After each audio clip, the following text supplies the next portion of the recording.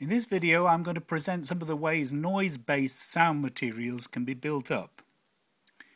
On this Serge there's no digital noise source as such, unless one counts the timing pulse output of the dual random generator, which is here. This samples the noise at the time intervals of the module's internal clock, which is down at the bottom. And it turns it into a one-bit on-off signal. Incidentally, this can be done also with the step function generator. This module.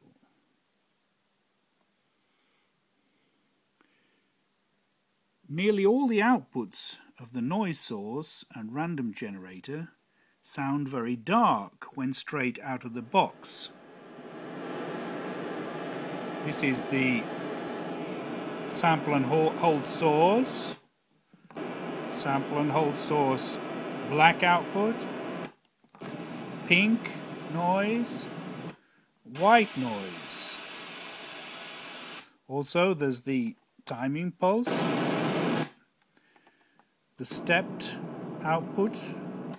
And the smooth outputs of the random generator only the timing pulse is very wide in bandwidth.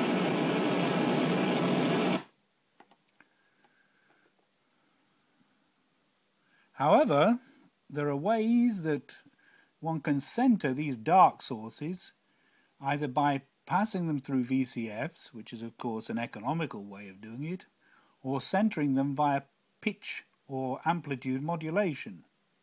Both of these types of modulation work, but give different results. This is what it sounds like if I sent a noise on an oscillator using amplitude modulation.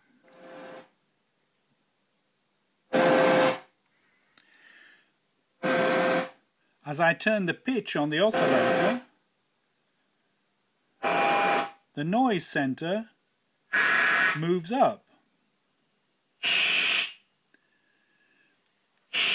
I'm using the timing pulse as the source signal and it's going in to the uh, input of the uh, AM input of a VCA before it's reaching the oscillator. You can also hear a similar effect if you take the same timing pulse signal and plug it into the FM input of a new timbral oscillator.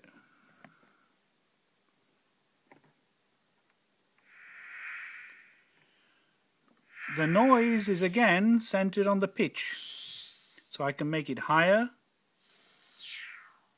or lower. And I can control the amount of noise signal in the pitch. So we hear more or less of the pitch.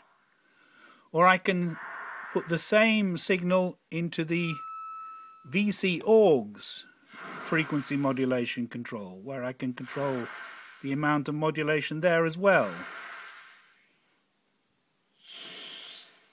But here I get a more kind of split noise effect. It's not so centered on the pitch as it was before.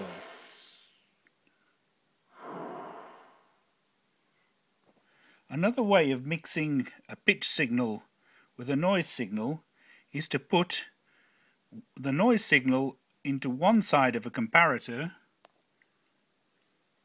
and the oscillator signal into the other side of the comparator. Here I've got the noise signal going into the positive side of the comparator and an oscillator uh, saw wave going into the negative side of the comparator. And now by moving the comparator, I can change the quality of mix between noise and pitch.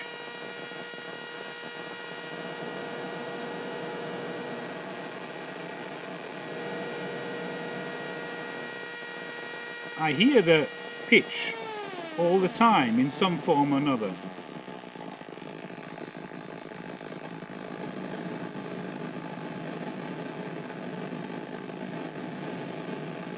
And of course it depends on what kind of quality of noise I'm using.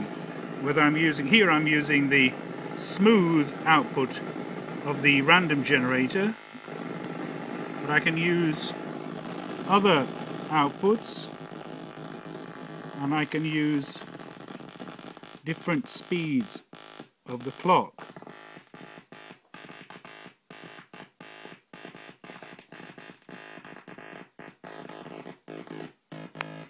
I'm going to kind of Morse effect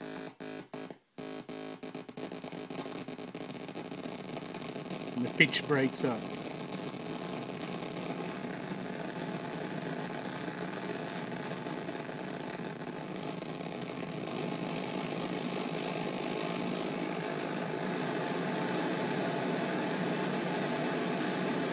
So there are a lot of different noise qualities that can get, be get, got out of that particular technique. I hope you've enjoyed this video on some of the noise signals that we've managed to get out of the noise source and the dual random generator. If you want to hear any more of these tutorials on getting sounds out of the Serge, then please subscribe to the channel.